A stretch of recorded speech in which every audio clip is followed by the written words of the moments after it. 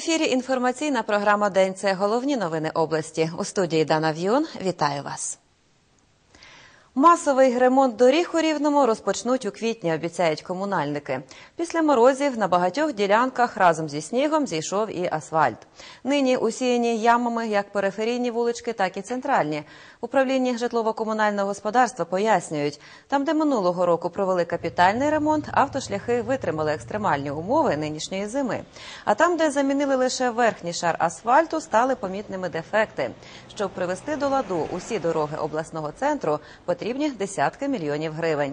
Тих же коштів, які виділяє бюджет, вистачає лише для латання проблемних ділянок. Найбільші вибоїни комунальники планують заасфальтувати уже найближчим часом. Якщо робити з заміною дорожнього полотна нижнього підстилаючого шару, основи, тобто дороги, треба було б зразу міняти всі комунікації.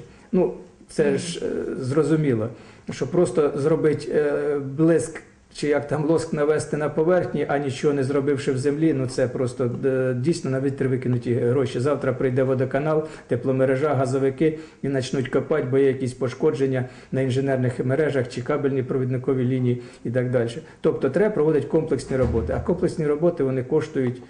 Дуже дуже, а в межах міста то це не просто дорогу в полі побудувати. В межах міста це набагато дорожче.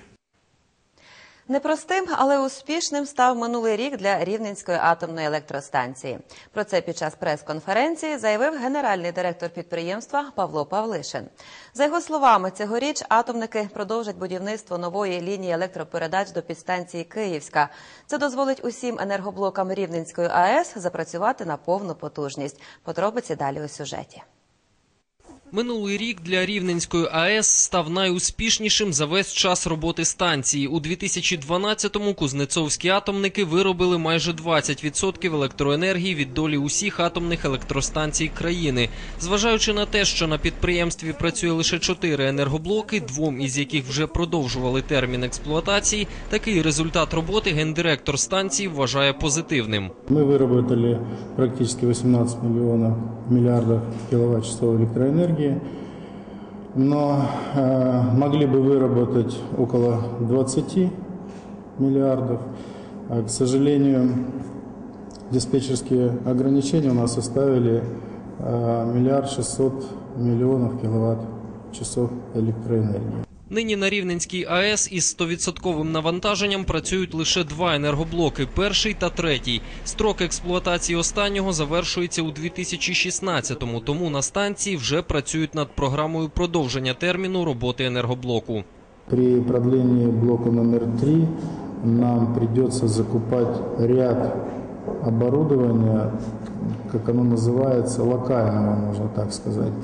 То есть это м, автономные передвижные насосные установки, это автономные передвижные дизель-генераторные достаточно высоких мощностей. Уже идут тендерные процедуры, и частично такое оборудование начинает закупаться для нашей станции. У нинішньому році триватиме також будівництво лінії електропередач із Рівненської АЕС до підстанції Київська. Если эту линию построят, то, безусловно, мы можем, сможем работать и Хмельницкая, и наша станция на полной мощности и выдавать электроэнергию в центр. А там уже распределение э, хоть в Белоруссию, так сказать, или по Украине. У 2013-му продовжиться і фінансування соціально-економічних заходів на територіях 30-кілометрової зони навколо Рівненської АЕС. У нинішньому році, як компенсацію ризику за сусідство із потенційно небезпечним об'єктом, три райони області та місто Кузнецовськ отримали держсубвенцію у розмірі понад 20 мільйонів гривень.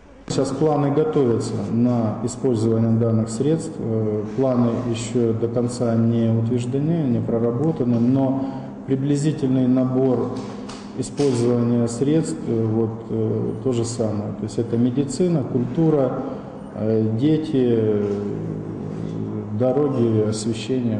Роман Свирида, Назар Мідріган. Інформаційна програма День. Умови навчання учнів Степангородської школи перевірить прокуратура Володимирецького району. Вона зацікавилася ситуацією у селі після повідомлень у засобах масової інформації про припинення навчання у школі. В районі вже розпочато перевірку додержання посадовими особами відділу освіти та виховання Володимирецької районної державної адміністрації вимог законодавства у сфері охорони дитинства. Нагадаю, переважну більшість учнів Степангородської школи уже четвертий день батьки не пускають на навчання, мотивуючи це тим, що школа є аварійною і життю їх дітей загрожує небезпека. У такий спосіб жителі села намагаються добитися будівництва нового закладу. Разом з тим, існуюча експертиза свідчить, що школа не є аварійною, а лише потребує капітального ремонту, зокрема даху. Профільний заступник голови облдержадміністрації Олексій Губанов розповів, що в області є школи у значно гіршому стані. Тому будувати нові треба там, де це справді необхідно, а не там, де комусь хочеться. Проте останнє слово буде за спеціальною комісією, яку до Степангорода спрямував голова облдержадміністрації Василь Берташ. До її складу входять проектанти, будівельники та депутати. Повінь, якщо і буде, то серйозних збитків області не завдасть. Такі прогнози роблять фахівці, зважаючи на погодні умови та готовність гідротехнічних споруд боротися із надмірною кількістю води. Втім, якщо сценарій буде іншим, вони готові кинути усі сили на ліквідацію надзвичайної ситуації. Аби нагадати, хто і за що відповідає, рятувальники влаштували навчання. Детальніше про це у сюжеті Івана Марчука. Увага, увага! Оголошено збір керівного складу цивільного захисту району. Хоч з вигляду далеко не нова, але від того не менш дієва апаратура одночасно з'єднує усіх відповідальних до боротьби із повінню у районах із обласним штабом. Включалася апаратура централізовано на міські е, телефони, робочі, домашні, на приймальні. Дзвінки із апаратної адресовані переважно північній частині області. До тренувань залучається 8 північних районів області, плюс Острозький район, який визначений ймовірними районами підтоплення населених пунктів На випадок повені до ліквідації її наслідків готові бути залученими 15 різних служб. Втім, в обласному штабі кажуть, поки що погода поводить себе спокійно і не дає підстав хвилюватись. На сьогоднішній день е, обстановка е, спокійна.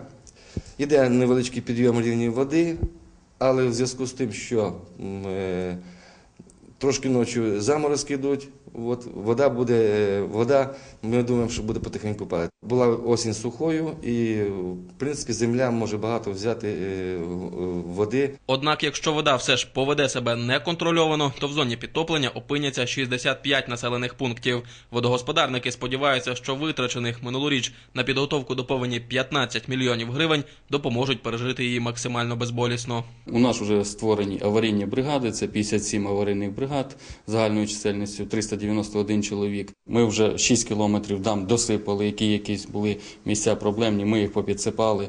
Е, 20 насосних станцій відремонтували, е, 14 насосно-силових агрегатів відремонтували, 27 гідропостів передивилися. Разом із цим в області 12 населених пунктів знаходяться в зоні підтоплення і не захищені жодними гідротехнічними спорудами. Саме до них у випадку повені буде прикута максимальна увага обласного штабу з ліквідації наслідків надзвичайних ситуацій. Іван Марчук, Микола Мельничук. Інформаційна програма День. Міський голова рівного Володимир Хомко незабаром поїде до Ірландії. Його запросили до Дубліна на восьмий форум світового альянсу міст проти бідності, який пройде 20-21 лютого.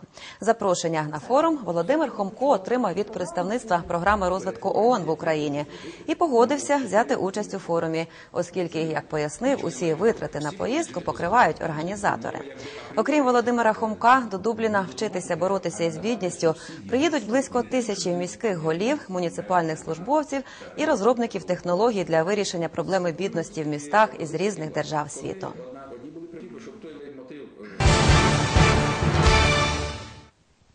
Обласна бібліотека продовжує урізноманітнювати способи залучення рівнян до читальних залів.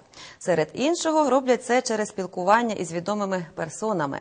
Цього разу постояти за кафедрою відділу обслуговування погодився український літературознавець, професор Ягелонського університету у Кракові та Київського університету імені Бориса Грінченка Ярослав Поліщук. Відомий рівнянин на дві години перекваліфікувався у бібліотекаря. Він спілкувався із читачами, відповідав на запитання та давав рекомендації. Він більш впевнено почуває себе за кафедрою університетською, втім, з кафедрою бібліотечною у професора Поліщука свої рахунки. Як е, активний читач завжди почуваюся е, морально зобов'язаний в бібліотеці.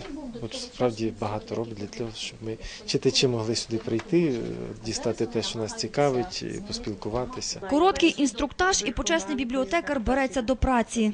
Відшукайте, будь ласка, місце е, виховання Наталени Королевої у, на Волині у помісті, е, колишньому помісті е, Бу- Бурковських. Можливо, нам удасться встановити там пам'ятну дошку. Це цікава ідея, пане Михайле. Спробуємо відшукати. Пан Михайло захоплений творами української письменниці Наталени Королеви. У професора він попросив детальніше дізнатись про волинський період життя авторки. Надзвичайно цікава особистість. І треба, щоб вона була відповідно е, пошанована і знана, знана Україні. У Рівному Ярослав Поліщук буває нечасто. Більше у польському Кракові, де викладає україністику у Ягелонському університеті, та у Києві, де теж працює зі студентами. Автора кількох науково-краєзнавчих книг, зокрема про Рівненщину, монографій та понад чотирьох сотень наукових публікацій, знають не лише в Україні, а й за кордоном. Також він відомий як літератор. Ірина Захарчук, знайома з професором особисто. Мені цікаво було побачити, як професор Поліщук працює е, для того, щоб е, відксерувати мені матеріали, які я попросила, надає консультацію. Ну і взагалі працює повноцінно. Йому бажаю успіхів. Ми теж не пропустили слушної нагоди і попросили у відомого літератора порекомендувати рівнянам цікаве чтиво. Дуже цікаві історичні романи з'явилися останнього року і надзвичайно і читаються легко, і пізнавально, і мають виховний ефект. Я би порадив Юрія Винничука роман Танго смерті, який був переможцем конкурсу BBC, і також роман Андрія Кокотюхи Червоний. Ця акція має за мету е, популяризувати читання, популяризувати твори, е, ну і взагалі е, залучати читачів до бібліотеки. Ми цю акцію будемо продовжувати. Ірина Василовська, Дмитро Шамшин. Інформаційна програма День. До визначення найкращої книги року на Рівненщині вперше долучаться користувачі соцмереж у інтернеті. Вони зможуть запропонувати номінантів у спільнотах, створених обласною бібліотекою. Окрім того, традиційно мають змогу рекомендувати книги читачі та працівники усіх книгозбірень нашого краю. Участь у конкурсі можуть взяти видання місцевих авторів, що вийшли друком протягом останніх п'яти років. У підсумку найкращих має обрати журі, до складу якого увійдуть добре знані на теренах краю письменники, видавці та журналісти. Ми думаємо, що будуть традиційних е, традиційні номінації по жанрах, але е, пропонує оргкомітет додати ще таку номінацію, як 730 років е, міста Рівном. Так що от така додаткова номінація. Буде традиційна номінація краща е, поліграфічна робота, краще художнє оформлення книги і всі традиційні номінації.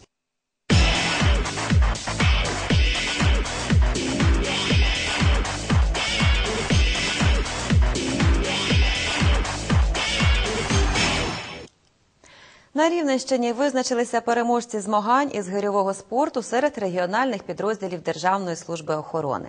Турнір протягом двох днів тривав на базі Рівненського вищого професійного училища міліції. У городку зібралося 28 команд працівників ДСО з усієї України. Змагання проводилися у двох вагових категоріях до та понад 90 кілограмів, з вагою гирь 24 та 32 кілограми відповідно. На виконання вправи учасникам давалося 10 хвилин. Зрештою, переможцем у ваговій категорії до 90 кілограмів став Олександр Олефір із Одещини, а у категорії понад 90 кілограмів Артем Артеменчук із Криму. В напруженій боротьбі перше місце завоювала команда ДСО Львівської області, друге місце команда ДСО Волинської області, третє місце команда ДСО Харківської області. Результати змагань підуть залік спартакіади Департаменту Державної служби охорони. І спартакіада почала е, спартакіада 2013 року почалася саме з цих змагань. Про рівень змагань може свідчити такі результати, що е, співробітник, який зайняв перше місце, виконав рівень кандидата в майстри спорту. Керівництво спідвейної команди Мір оголосило список гонщиків, які захищатимуть її кольори у нинішньому сезоні. До переліку дорослих гонщиків увійшли Ярослав Полюхович, Володимир Омелян та Володимир Колодій молодший. Очікується, що виступатимуть за мір також юніори Максим Росощук, Сергій Юзепчук, Петро Глегецький, Олег Кот, Павло Кондратюк та Володимир Тейгел. Крім цього, директор міра Сергій Пелешок розраховує на гонщиків рівненського каскада Олександра Бородая та Станіслава Хмельничука. Нагадаємо, у 2013 році команда, яку тренує Віктор Кузніцов, виступатиме одразу у двох турнірах: російському кубку Карнєєва та другій польській спідвейній лізі. Це були головні новини області. Більше інформації дізнавайтеся на сайті, адресу якого ви бачите на своїх екранах. До зустрічі в ефірі і хай щастить.